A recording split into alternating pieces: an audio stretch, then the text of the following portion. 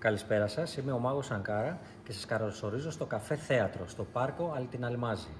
Ετοιμάζω ένα μοναδικό σοου σε λίγες ώρες από τις 7 και μετά, οπότε θα χαρώ να σας δω.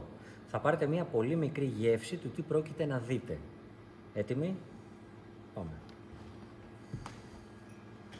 Μόλις μπήκα μέσα μου είπανε τι μπορείς να κάνεις με αυτό το πυρούνι. Οπότε τους ζήτησα ένα πυρούνι και δείτε. Συμβαίνει με ένα οποιοδήποτε πυρούνι. Ίσως να είστε λίγο δύσπιστοι, αλλά από κοντά θα πιστείτε, γιατί πρόκειται για αληθινό πυρούνι. Δείτε άλλη μία πολύ προσεκτικά. Όπως το βλέπετε από εκεί που είστε τώρα, θα το δείτε και από εδώ από κοντά.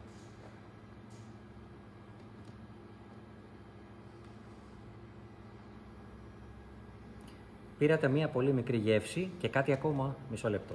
Δεν θα ασχοληθούμε τώρα με αυτό το τμήμα του πυρηνιού, δείτε εδώ.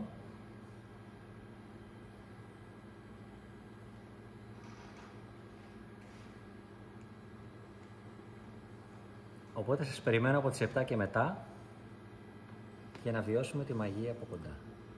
Γεια σας.